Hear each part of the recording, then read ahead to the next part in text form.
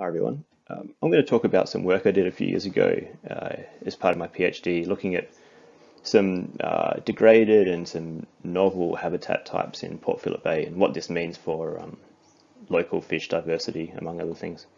Uh, this work was supported by the Bill Borthwick Student, uh, Student Scholarship, as well as the uh, Holsworth Wildlife Research Endowment and the Paddy Foundation.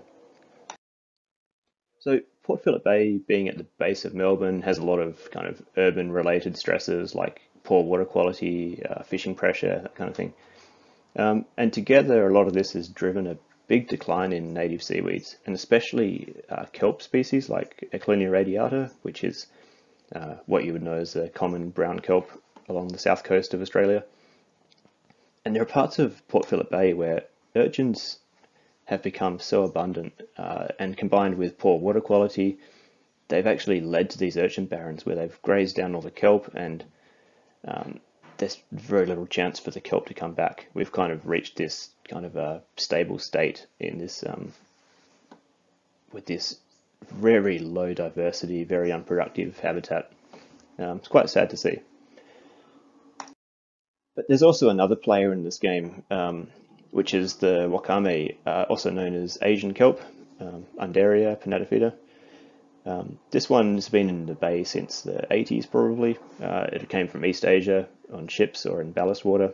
Um, but you can see it provides kind of a habitat structure. There's a bit of a canopy here. It's kind of similar to what the native kelp provides. And so I wondered what kind of role does this, this uh, novel habitat play for local fish species? So I picked a couple of species that are common, relatively easy to catch, um, that use seaweed species, especially kelp, um, and I thought I'd see how they respond to this new, new kind of kelp habitat.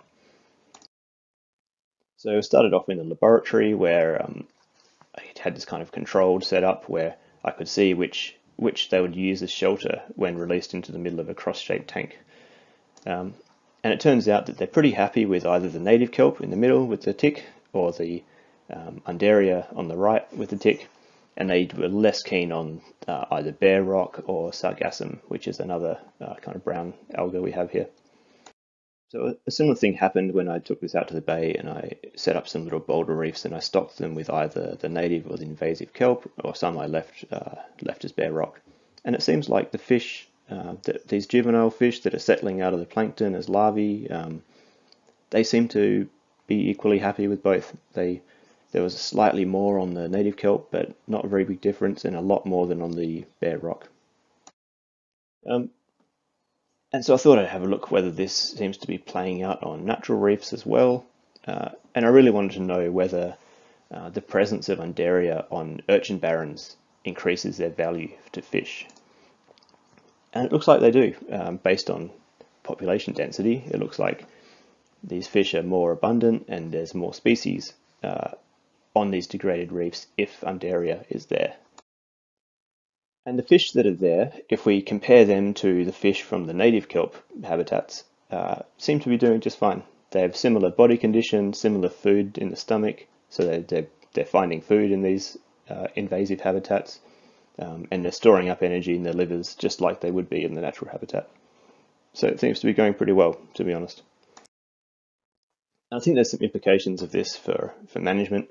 Firstly, um, it's pretty clear that the fish are using this habitat. And so to me, removing a standing canopy once it's there is probably not doing any good to the environment. It, it makes sense if you can, if you have a chance to control a new, a new uh, infestation, sure, get rid of it. But otherwise, in areas where it's established, it might be better to leave it there.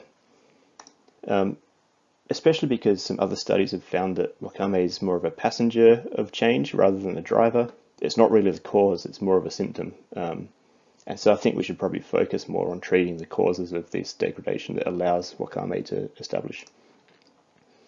Um, and in Port Phillip Bay, this is probably poor water quality and um, these super abundant urchins that are grazing down the native kelp. So I think um, Wakame seems to be actually filling a gap in a way that might be quite helpful for local fish populations um, which is an interesting case. Uh, this work was published in Ecological Applications. Um, I can also send copies to anyone who would like to read it. Uh, thanks very much.